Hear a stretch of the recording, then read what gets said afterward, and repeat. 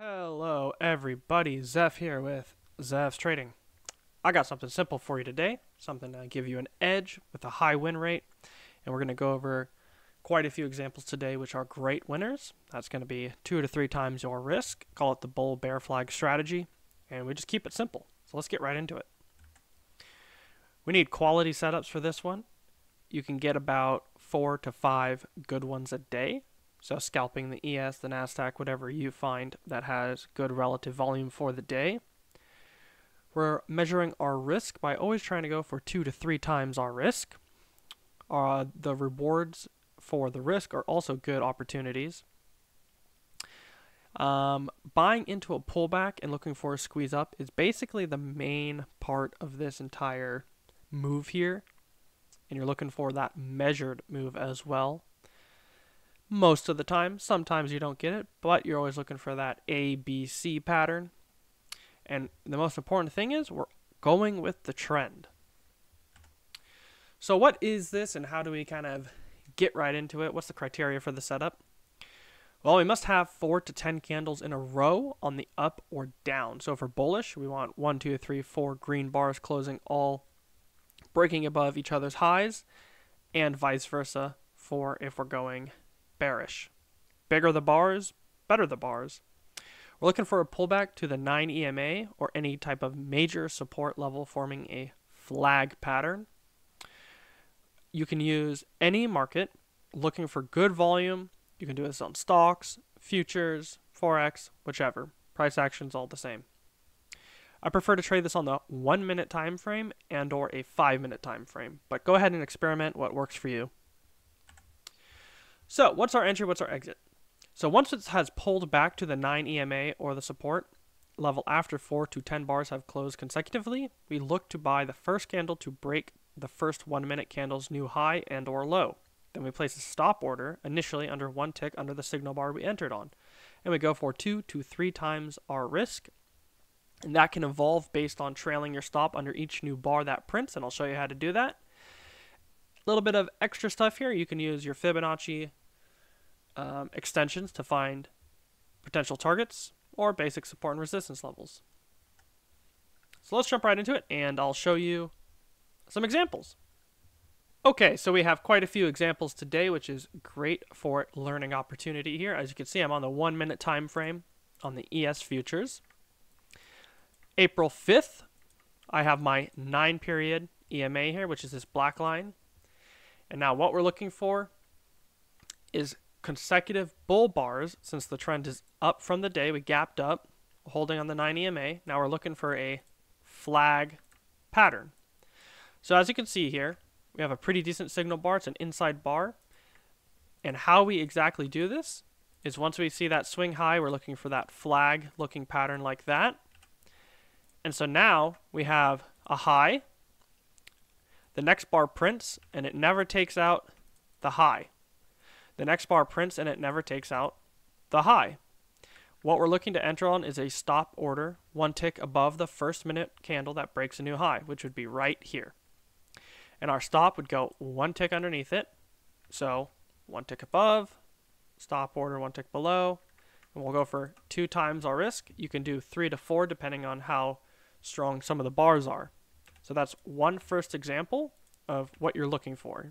Multiple bars closing on their highs, green bars closing consecutively, a flag pattern to the pullback to the 9 EMA if you can, and a nice signal bar approaches. That's great. Buy the first one minute candle to break the new high. And that's it. And you go for two times the risk. So you can take a tool. Where's my two times? And then what you can also do is you can trail your stop under each new bar that prints if you'd like. And then once that happens, you can adjust your your uh, stop loss order and your profit target order because risk is evolving, it's not stagnant. So, what we can do if we have multiple contracts or we're, you know, uneasy about the price action, once we're in it one tick, we can move our stop loss one tick underneath once this bar prints, and now we're going for two times our risk still. So that's an also way you can evolve the risk to reward and as you're scalping. This does take a little bit of practice to do because things happen pretty fast, especially on a one minute time frame. But let me go over a few more examples. So we have one win right there. Here's another one. You can see multiple green bars closing. You have a pullback going for two times our risk. Wait a few minutes. And about 15 minutes later, we get our two times our risk. And this actually led to more than two times. I mean, you can see, depending on how you play this, you can get quite a few R multipliers going on here. But you can, hopefully you can see that up move, pull back to the 9 EMA, candle didn't break a high, candle didn't break a high. Here we go. Candle broke the first high on the one minute time frame. Enter, stop. Again, multiple bars closing all consecutively green, pullback. Now this one isn't at the 9 EMA, but it's such a low risk bar that you can take it. And say it's an outside bar, which happens, and you get stopped out, just enter one tick above once the outside bar closes and go with it. So there's one, two, three. Here we go again. We have a downtrend. We can also see a A, B, C. So this trend might be done here. Move up, one, two, three, four consecutive bars closing on their lows. Pull back to the 9 EMA. First one minute candle breaks a new high. Again, two times our risk. There we go. There's another one. Same thing here. Multiple green bars. We have over 10 green bars. 1, 2, 3, 4, 5, 6. Sorry. 1, 2, 3, 4, 5, 6, 7, 8, 9, 10, 11. Pulls back. Didn't make a new high. Didn't break a new high. Didn't break a new high. Didn't break a new high. Didn't break a new high. Broke the high.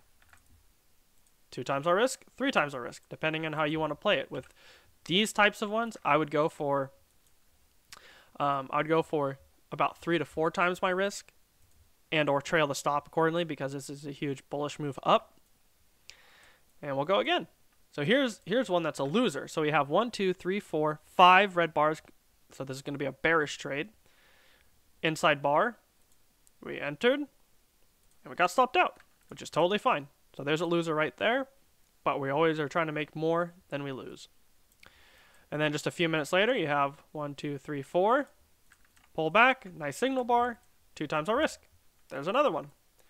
Same thing here. Multiple red bars closing on their lows. Didn't break a low, didn't break a low, didn't break a low, didn't break a low. Broke the low. Stop order one tick above. You can go, again, two to three times your risk. There's another one. Um, here's one right here. This one took a second. And so here's another one that I took live. Nice move up. Pulls back. This candle is the one that broke its high, so I entered. My stop goes one tick below. You can see how close it got but that's why we have our stop one tick below. And as it was evolving, I adjusted my stop right here, one tick underneath this bar, and then it went to there. Then it, I saw this one, this one, I saw this nice green bar, so I evolved my risk, one tick below, and I got out just a little bit, one tick above that.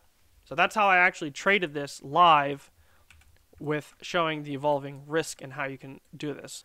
Once again, here's another one. We have a move down, bear flag, you can clearly see it's only one, two, three, but you can clearly see a most textbook bear flag formation, and that's what we're trading, two times our risk. Here's another one, one, two, three, four, pulls back, inside bar, two times our risk. There's another one. And that's pretty much how it played throughout for the rest of the day, so you can see we have over one, two, three, four, five, six, seven, eight, nine, ten winners, one loser. So hopefully this is a super simple strategy that you guys can grasp. I know this is not a very long video, which is the point. I wanted to show you guys this strategy. Go ahead and trade it with real life data. You'll definitely see the results. And hopefully this helps. If you have any questions or comments, please head over to either the email section and shoot me an email eh, or in the YouTube comment section below and I can answer your question or consider joining the Discord by checking out my website. Thank you. Have a good day.